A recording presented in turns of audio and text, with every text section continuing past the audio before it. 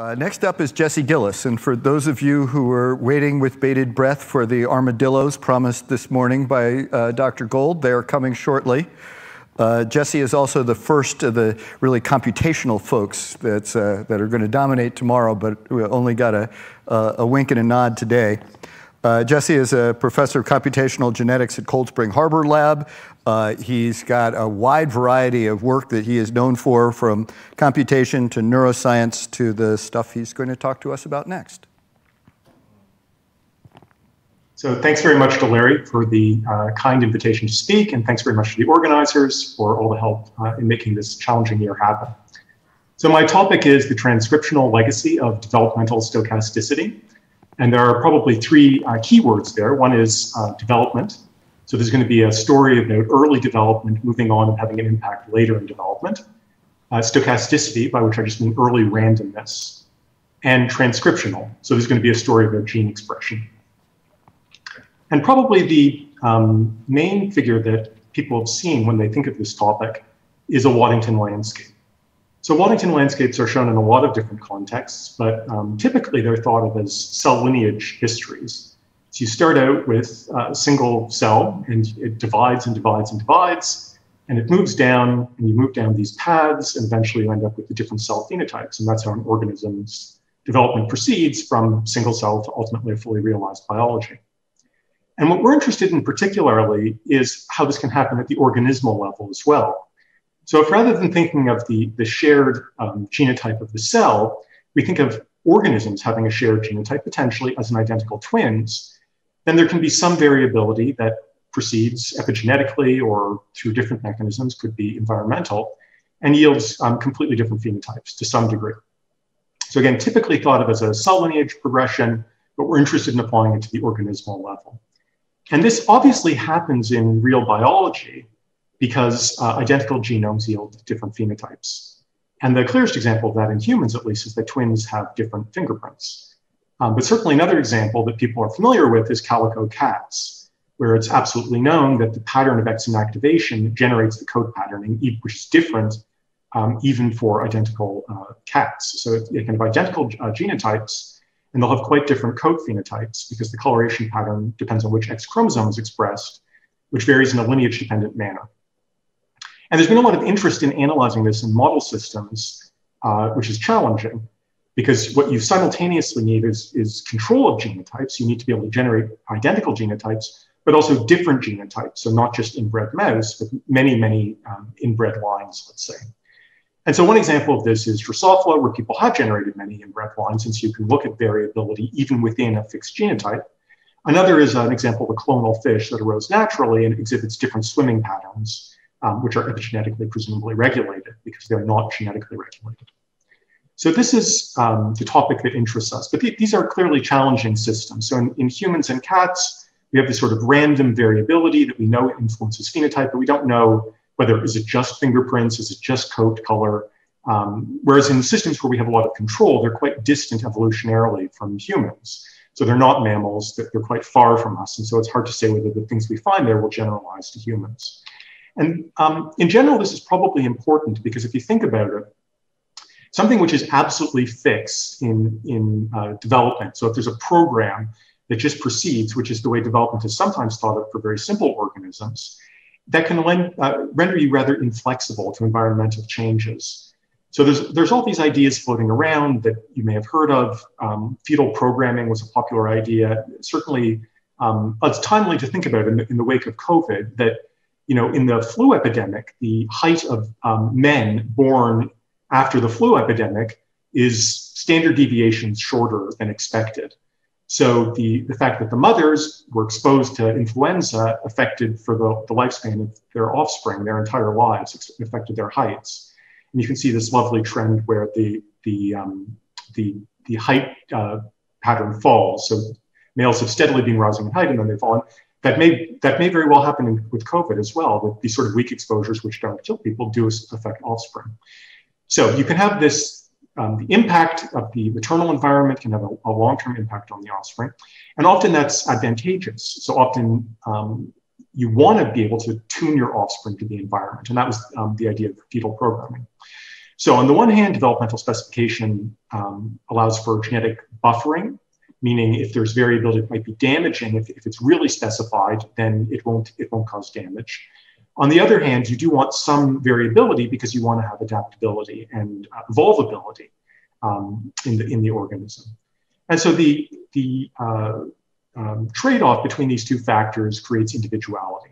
And that's what makes individuals quite different from one another. We don't have all identical twins acting or even looking alike. You can look at them and they look subtly different because they aren't entirely specified from um, embryonic stages onward.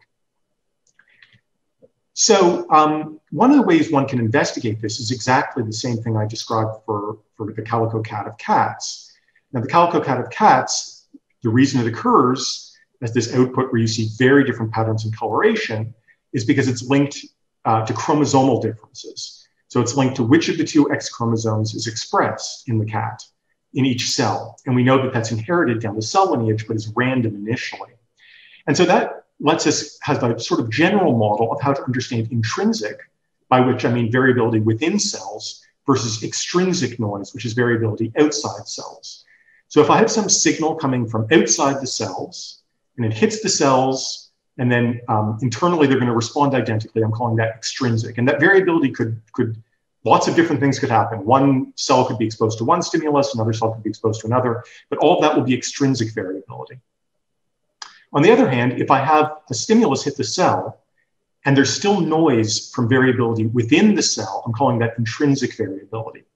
And fortunately, we can measure that within uh, mammals uh, and most organisms because we have two copies of most genes. And so we can see whether there are different responses um, from this external stimulus, which both of those copies share, but one responds a lot and one responds a little. Well, that has to be due to variability within the cells, right? Because they have the same, those chromosomes saw the exact same thing outside the cells. And so that's intrinsic variability versus extrinsic variability. And intrinsic variability can have a long-term impact because it can be fixed. So you have one chromosome gets highly expressed. This is what happens in X activation. One chromosome gets expressed, not the other one. And then every single cell that follows that cell will have the exact same feature, even though it was random originally. So we're going to be interested in measuring intrinsic and extrinsic noise in mammals, particularly. And um, we think that these things can matter because we know that there is a, a, really large number of factors that can affect gene expression and development. And we think that we need to control a lot of them to measure these subtle influences of things like noise, even though they matter. And so a good example of this is mouse strains, where everyone understands in biology that mouse strains are useful because they, they really reduce noise. But what I'm showing here is that on different um, strains, if you have different genetic uh, perturbations, you can still have really, really different responses. You can have responses that are at the top here, conditioned on the genetic background. So they're very consistent given the genetic background, but vary from one genetic background to the other. Or you can have, and this looks a lot more like the sort of intrinsic maybe noise, but it also could be extrinsic, but intrinsic noise, where um, you know you move from one copy to the next, one identical genetic copy to the next, and there's a lot of variability in the output of the gene. And it's not just about the genetic background. And then in other cases, of course, every single mouse is a good, a good model. But what this demonstrates is that it's not enough to have a single genetically replicable organism, that one wants to have many, many such um, strains in theory to generate robust results. And this is an idea that is, is uh, discussed a lot these days, which is the idea that trans genetic interactions, i.e., the influence of many genes, can have an influence on each gene. And so this is the, the problem with looking at, we wanted to study intrinsic noise or extrinsic noise. We then need to control genotype. But if you control genotype, you generate the single genotype, and then your results are no longer robust because you're not looking across enough genotypes. And so there's this, this trade-off again in our study design where we really want to have many copies of the same genotype. And that genotype really should look very much like an outbred or wild type organism. And um, this is something that you know you can really see in human twin studies, and this is why human twin studies are so useful because that's exactly what you have. So for human twins, you have outbred humans. The, they are full of ordinary. They're not inbred like mice to generate genetic replicability. They're outbred. So monozygotic twins, you know, are different in some ways from dizygotic. They're um, there are some differences, but for the most part, they sample from the same genetic variability as dizygotic twins. And so one really is looking at genetic replicates, in this case, that um, have all the outbred variability that one expects of, of ordinary twins. And so you can really measure the influence of genetic background in a holistic sense and how much variability there is even when you have a fixed genotype. And so we see certainly higher methylation, similarity among monozygotic over dizygotic twins. So this is a class of epigenetic signal. But some of that signal might be variable across time. It's very hard to measure. And it's also true that it's hard to get human uh, identical twins where you really control for the environment. So twins, you know, we love using identical twins. They are the gold standard for measuring heritability. But if you think about it, they're actually not that strong a standard because, of course, they live very different lives. Uh, a person can get a sunburn, and that, that has a long, a very large influence on their gene expression. It's very evident. So their, their environment is not really controlled. So um, another feature that makes twins a little problematic to use as a, in a general sense, aside from this lack of environmental control, is that they're quite unusual in humans. So already once you have an uh, identical twin in humans, you're saying that it's an unusual, it's, it possibly doesn't generalize to the ordinary course of development. And this is just the consequence of, of um, uh, you know, reproductive drugs for people having children later in life, which creates a greater probability of twinning. But certainly twinning is not the ordinary course of human development. And so what we'd really like in an organism is an organism where we have a lot of identical offspring. They're outbred, so they're not just clonally the same for every set of identical offspring. And we'd like that to be a sort of ordinary thing that happens. And actually, we'd like them to be mammals as well. So you can find this in non-mammals, but, but in mammals, it's challenging. And that's enter, enter the armadillo. So this is why I'm fascinated by armadillos, because they have all these features. And uh, armadillos are very, very unusual in having all these features. Um, in fact, unique in producing uh, the species we're looking at, monozygotic quadruplets. And in, in, actual fact, mammals in general do not produce identical offspring. So even humans are quite unusual in producing identical offspring as frequently as we do. Uh, most mammals, dogs, cats, uh, you know, any, any other type of mammal, don't really produce identical offspring, whereas um, humans produce them occasionally. Armadillos produce them all the time. So every litter is like a new strain of outbred mice, which is very powerful because it gives us genetic replicates that are outbred. And so we can repeat studies over and over again and really sample across diverse, uncorrelated, uh, you know, genotypic variation. And in fact, the history of armadillos to me is fascinating. I, I love this quote from a 1909 paper. And so if you ask people how old is the concept of identical twins, they often think it's quite old. And the reason for that is that certainly when, you know, you can read Greek mythology and read about twins, right? The, the child who is the offspring of, you know, Zeus or the child who is the offspring of some mortal. And, um, but e even in that story or those stories, inherent is the idea that yeah, they don't quite understand the way heritability works, that, that the father would tend to be the same father. And in fact, in general, the, the idea that there truly were identical twins discreetly from non-identical twins was not clear until quite recently. And in fact, the place it was, was made relatively clear um, was armadillos, among other places. And so I like this quote that um, uh, the bearing of this work, i.e., armadillo polyembryony, on the latter problem of sex determination is obvious.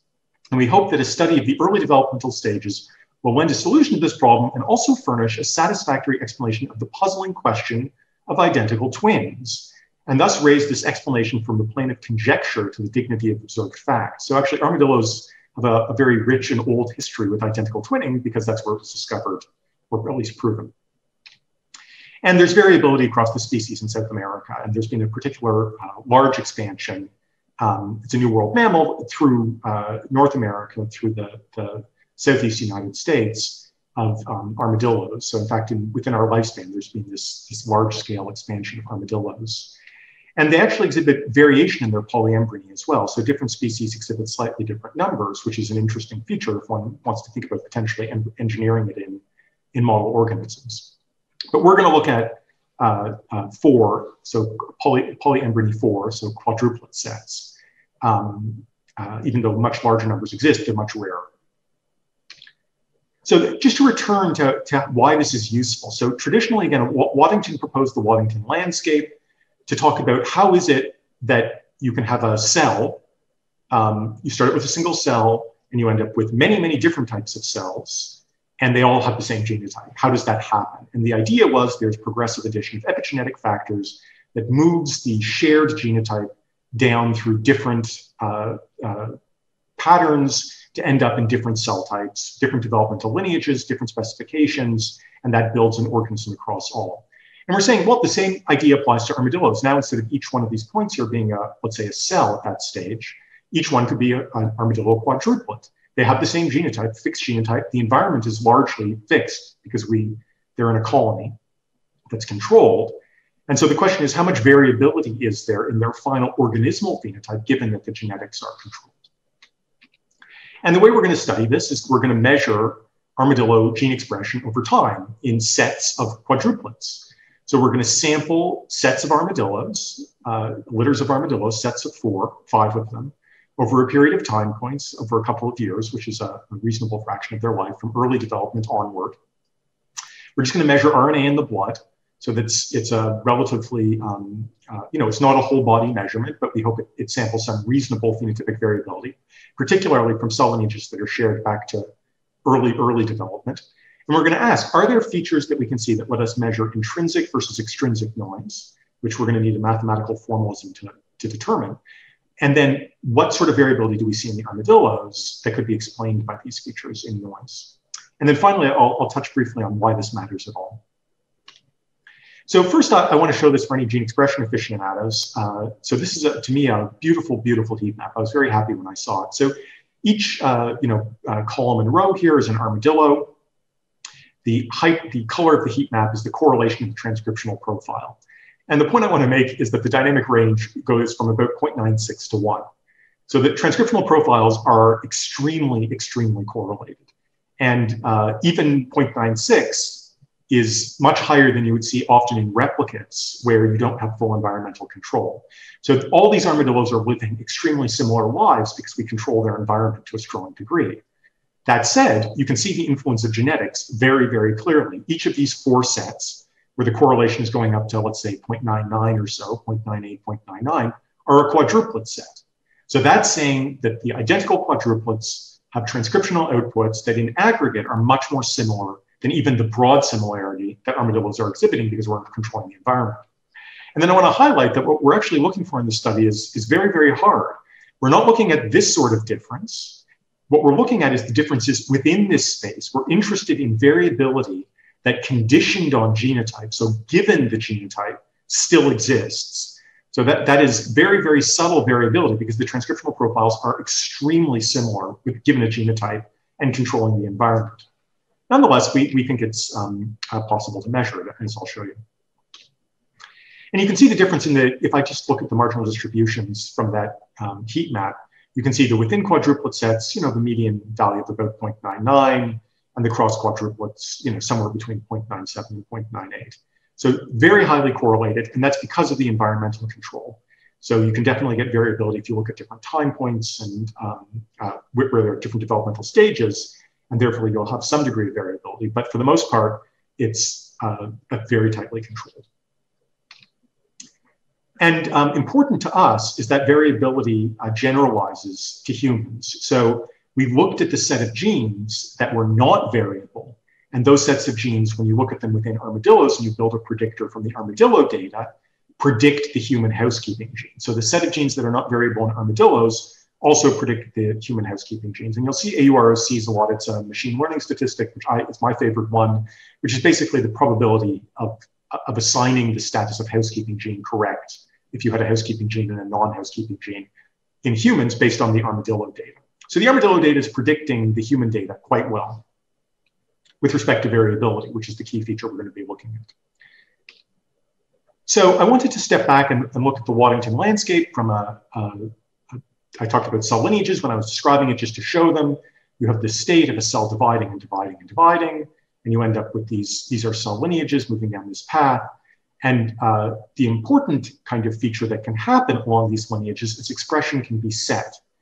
And expression can be set at the, at, in a global sense, meaning the expression level of a gene can be set, but also the allelic expression can be set, meaning which copy of your two chromosomes is expressed relative to the other at a certain level. And again, the clearest example of that is the calico cat of cats, where that's exactly what happens on the X chromosome. So this is a lot like saying X inactivation happens at this time point. Blue is uh, uh, one of the X's being set to be active in one cell. Yellow is another cell being active in the other cell. And then that's inherited down those lineages. So every cell that comes after that will inherit that X being active. And that's what ends up causing the coloration pattern of the cat's coat. And that's also why it isn't just a blur, is because the cells clonally expand in their epigenetic status. They expand, and that creates a pool of that color being present. And our real question is, can we measure this on the autosomes? So that's happening on the sex chromosomes, on the X chromosome. Is it possible that this is also happening on the autosomes? And that would be intrinsic noise. So something is coming in from outside the cell. It, it is, the cell sees the same signal, but the two chromosomes end up generating different signals, and that's intrinsic noise. In contrast, if this is an expression level change, that's something that the cell as a whole is seeing, and so that's extrinsic noise. And this can be modeled. It's this is very easy to model because if it's you know it's two alleles, we have two copies of the chromosomes, we have two copies of the genes. Uh, it's a it, it's a coin flip about which is expressed or which is not expressed in the case of X inactivation, and that's just a binomial distribution. And that uh, you know we don't know when it happens, so the actual n is is unknown. But looking at the variance of the final distribution can tell you that. So and again, a, an important um, case of this happening is just in all women.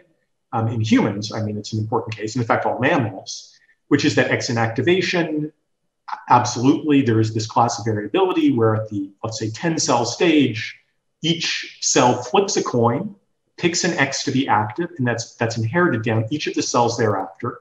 And that means every cell in women thereafter is expressing one of the two X's, whereas in men, just there's just a single X to be expressed. And this balances the gene expression, but it does mean that women have are, are a mosaic, meaning a mix of the two types of X's being expressed. And that's why calico cats end up having the two X's expressed, and calico cats are female. Uh, so there's this tissue mosaicism.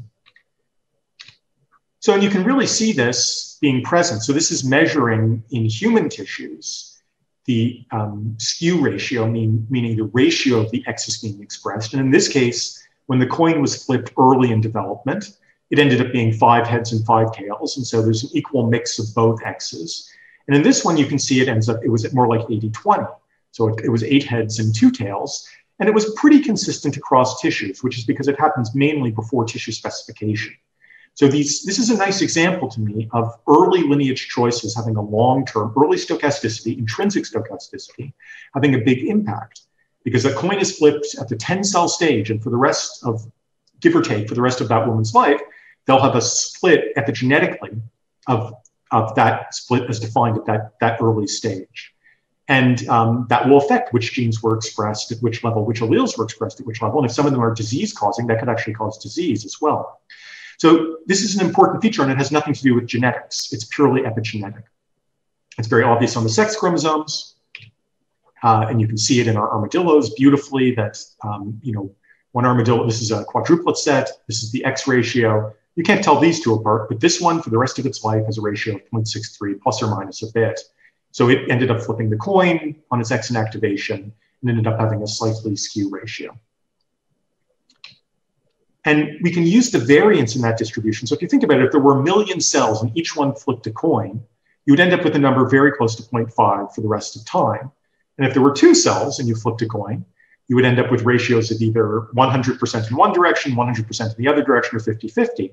And so, because that's inherited down the cell lineage forever, the final ratio that you see, the final distribution that you see across all of these uh, ratios in all armadillos, tells us how many cells were present when X inactivation was set. And we get 25 cells by looking at the X inactivation ratios, which is probably correct based on other mammals and plus or minus, I'll say about a cell division. So the fact we don't log scale this makes this look wider than it is, but it's pretty good. It's within about a cell division of 25 cells. So we want to we want to do that exact same assessment. So historically, it has not really been known if this occurs on autosomes. It's actually been a very debated literature uh, whether this occurs other than occurring on the X, where it, it very obviously occurs. And so what we're going to do is use exactly the same signal we saw on the X which is variation in identity that was permanent. So one armadillo had one signal and it was permanent for the rest of time. And we're going to use that variability in signal and measure it for the rest of time and see if that occurs on autosomes as well. And this is just going about how we do that. So what we want to do is not pick individual alleles, although we can do that too based on their variability, but actually add up the aggregate impact of all alleles. And so we, we the same way we had for X's, we would have said the one that was 0.63, if we see an armadillo with 0.63 later, we think it's that armadillo. We basically formulate this as a prediction task where the ratios on the autosomes are used to predict the identities of armadillos in the future. So this is asking if intrinsic noise, allelic variability, or extrinsic noise, expression levels, can be used to predict the identity of the armadillo later. And if it can, we say, ah, then that signal must be something that was set early in development and was fixed thereafter because it was permanent from early development onward. And so XU in particular, we can we can you know operate this formalism and we get that it works quite well, which is that this is the predictability score, which is basically out of four how many we get right, and this is the null distribution, and so we're very significantly predicting identity using the X. And then the question is, um, does that happen on the autosomes as well? So off of the X, and the answer is yes, very substantially. So we can see that um, using just the aggregate autosomal impact, there are many, many genes where there's allelic variability, intrinsic noise, that is permanent, specifies the armadillo's identity uh, forever, and um, uh, you know is about um, significant to the tune of about a half an X chromosome. So it's not quite as significant as an entire X chromosome, but the X chromosome variability has a large impact on phenotype and disease penetrance. And this is um, uh, probably subject to less purifying selection in the X chromosome. And so this, this is potentially something that would matter for disease, which I'll show you a model for at the end which is if you have a disease allele, which would cause disease, and you end up with it being the one that was randomly picked to be expressed, you'll end up with the disease. And if not, you won't get the disease, but that's not genetic. Um, and the genes don't overlap uh, significantly across the armadillos. They're not particularly present in the female armadillo, so it's not like these are missing annotated X-linked genes. And we can do the same thing with extrinsic noise, which is look at the gene expression levels across the armadillos rather than the ratio of alleles and do the almost the exact same analysis, which is looking at whether armadillos are showing correlated expression profiles over time with themselves. So if I have a high gene expression relative to my siblings, is that the same uh, uh, over time? And if so, I think that's a permanent feature of my development. And again, we get um, significance, but less so. And this makes sense because this is probably under more selection for stability because it has more of a functional impact. So there is some fixed level changes in gene expression where you know your immune system might be differently uh, fixed at some set point depending on early development. But that happens much less than having one allele of the gene one of the two copies being higher expressed. The allelic effect is so strong that we can actually use it to trace the lineages which is pretty extraordinary whereas the expression effect is just nudging on the end of, of significance meaning this is important probably um, in setting determining set points for your say immune system or weight or other sources of variability we see in the armadillos, but it's not quite as strongly um, as quite as strong an impact. Okay, to return to why this matters at all, why do we have to do this in armadillos as opposed to, to humans? Um, when we look at human data, uh, which is let's say this bottom one, there's an awful lot of day-to-day variability that we don't think affects the set points of the genes. People have a cold, which is not a huge functional impact on them um, in terms of you know their long-term health and fitness. It has an extraordinary effect on their expression levels, right? So these sort of short-term, you know, but important responses that we have to environmental stimuli generate a ton of up and down sort of noise, as shown in this bottom graph. Whereas in the armadillos, we have we're able to control all the environmental effects and a lot of even the early developmental ones. And so it's much easier to measure variability, uh, particularly extrinsic variability, actually, um, uh, which is extrinsic variability in particular, which is, is not just short term um, stuff that doesn't matter, but canalized extrinsic variability. And um, this isn't actually, this is empirical data. So we have human twins data, which we've looked at, and you can just see that if you take every gene and look at its uh, um, fold change relative to the identical you know, pairs, either twins or, or quadruplets, the fold changes in general are much higher for, for identical twins across both monozygotic and dizygotic. And that reflects the fact that a lot of that variability is, um, is environmental variability. So it doesn't vary much from, from monozygotic to dizygotic. It does a bit. There's some genetic variability, but there's just a, a lot of, of, environmental variability which isn't controlled in the twins. And so that's why armadillos are a very useful system, probably generalized to humans. Let us figure out, you know, cell lineage estimates. Let us guess the amount of X-linked inactivation. Let us determine um, X-linked lineages and other lineages, um, and probably let us figure out functional features which are uh, linked to phenotype. And the reason why all of that matters to, to human um, health and welfare is that, that argument I presented earlier. And so this is an, an idea about, you know, uh, recently there's been more and more of an idea that um, rare variation can have an impact on phenotype. I would say within the last 10 or 15 years, that, that's been a more and more important idea. And one of the ways that can happen, of course, is if you get two, you know, um, rare copies of a gene, that's going to have a huge impact on you because you don't have one good copy. But normally, we're pretty well protected if we have only one good copy. So if we only have one good copy of a gene, we're mostly haplosufficient, meaning haplosufficient, meaning one copy is enough. Okay, but what could what could stop that from happening? Well, one way you can stop it from happening by accident is having two bad copies.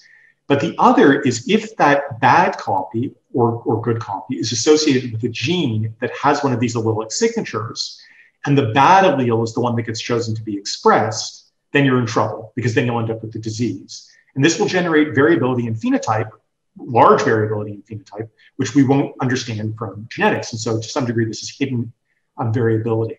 And this model on the right here is saying if this is our model of disease penetrance, that we need a certain allelic ratio to, to have the disease in the bad direction, and the allelic ratio is dependent on the early cell population number, then we can model the likelihood of um, the disease being due to having two bad variants or it be being due to having been unlucky in that early coin flip.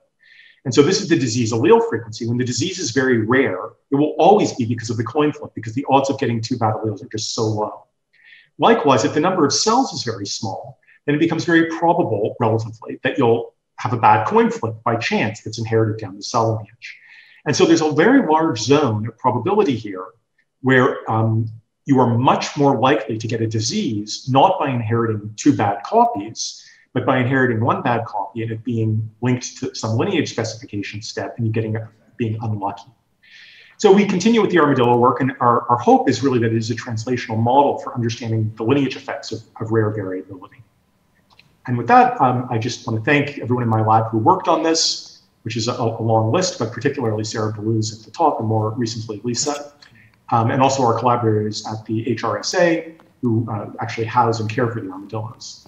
And thank you all. Happy to take any questions. All right, that was wonderful. I'm waiting for questions to come in from the, uh, the online audience. Do we have any locally? Yeah, so hold on. Laurie's got one.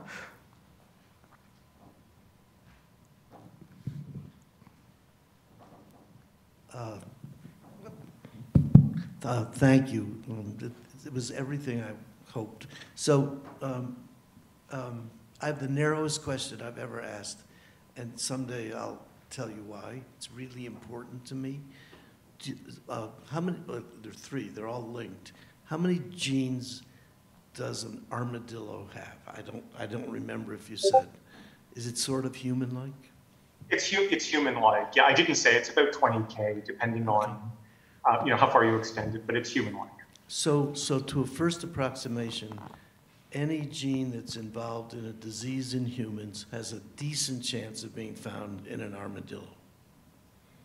Um, uh, to a first approximation, yes. I wouldn't say um, every. So, so uh, you know, it's it's the furthest out group, it's the furthest in group within mammals, right? So it's it's almost uh, the, the, the furthest you can get and still be a mammal. So it's much further, for example, than you know mice even. Now within mammals, most things have still. I mean, we're not plants, so they still mostly have one-to-one orthologs. So you're mostly pretty good, but I I wouldn't you know I wouldn't guarantee it. Okay. So so my question, which is a request is that you look up the genes in an armadillo and send me a little note that says armadillos do or do not have a MAFB, M-A-F-B gene. So this is really a, a chance, I'm really asking you a rare disease question because you have a chance of affecting, you have a chance of ma- making rare disease, I don't know what the right word is, ex- examples that represent one out of four uh, of the progeny of any mommy, right? I mean, because even though you're, most of it is about, a lot of it is about X inactivation, there's all this other stuff going on, yes?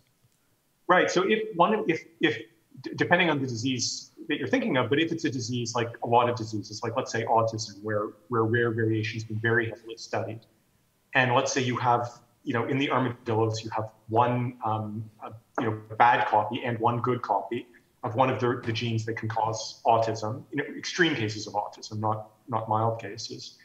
Then you will see a lot of variability in the offspring because many of them will get have a sufficient level of both that they're just protected but you'll see some would then have it yeah so ab- absolutely it's it's ideally it's a model for how rare particularly rare um, variability can be pheno- phenotypically penetrant you know but only sometimes well, th- thank you for that.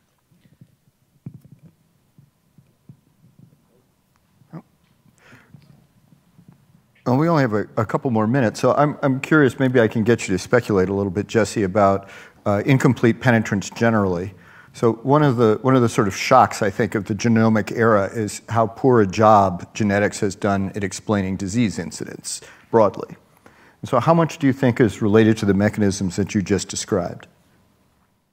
I guess I, I'm, I'm willing to take even, I would be hopeful for some would be an answer, meaning, um, you know, it's a big, it's a big pie. And I think um, increasing resolution and coverage on common variation explains, does explain some of that missing, you know, pieces.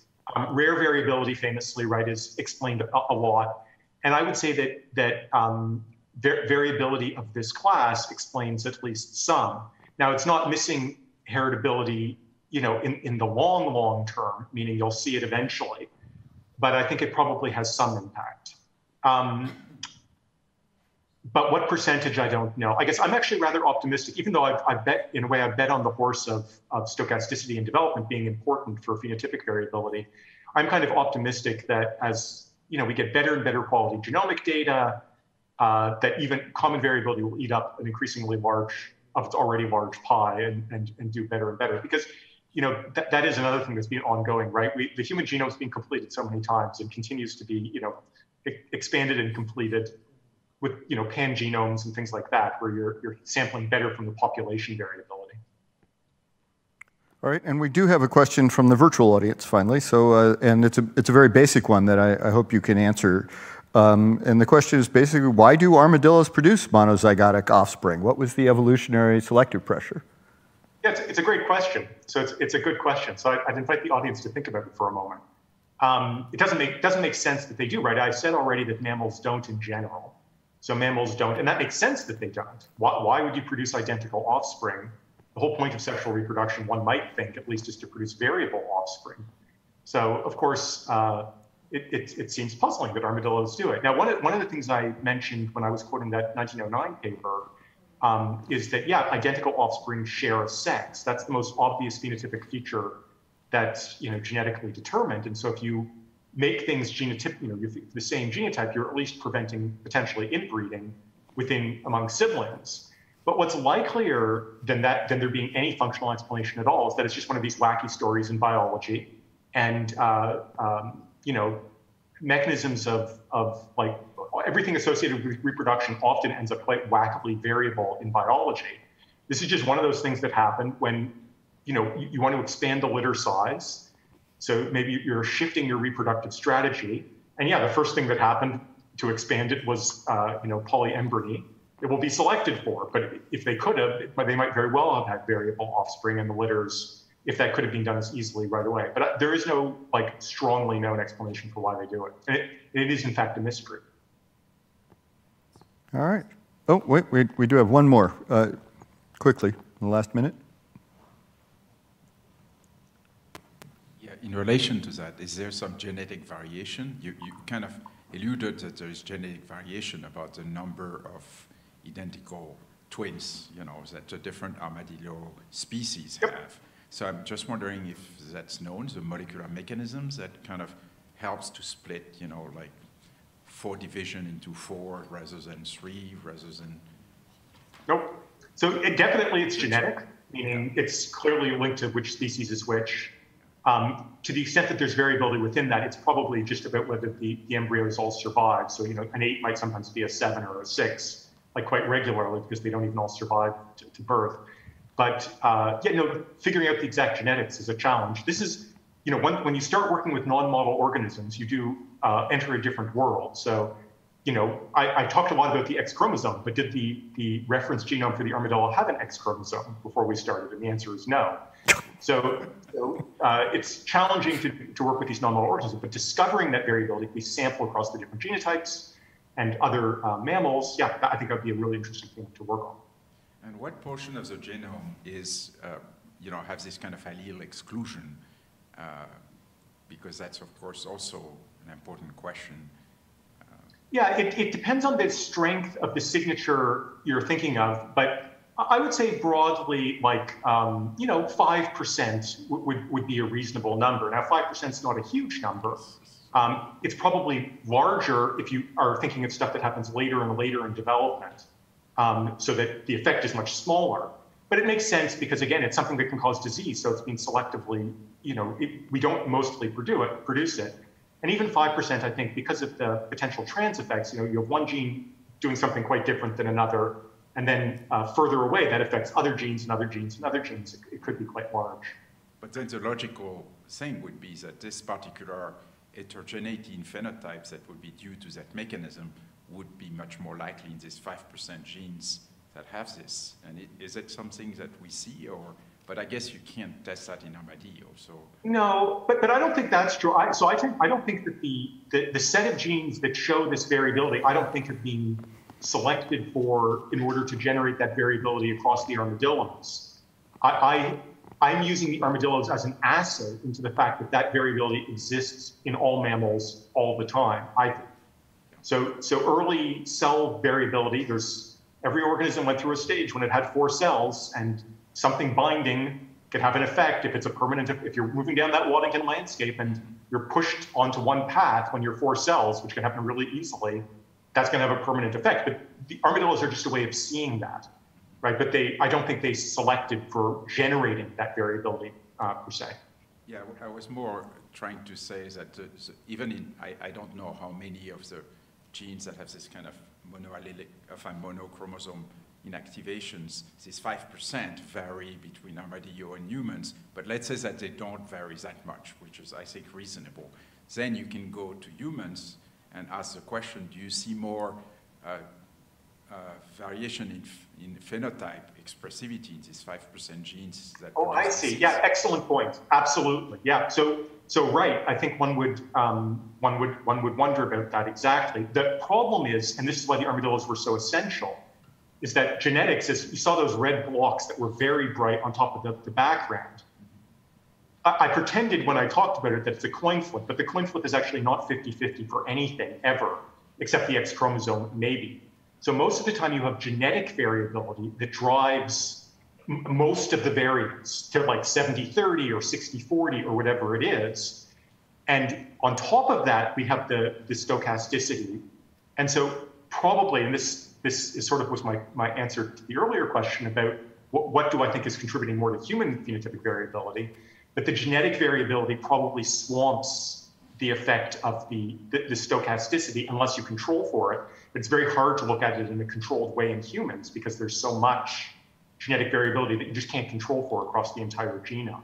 So I think in theory, you're right if we could control for the, for the, the entire genetic background in humans, um, but we mostly can't. So we end up being affected by whether you know there was selection for or against there being variants in the genome um, for those genes.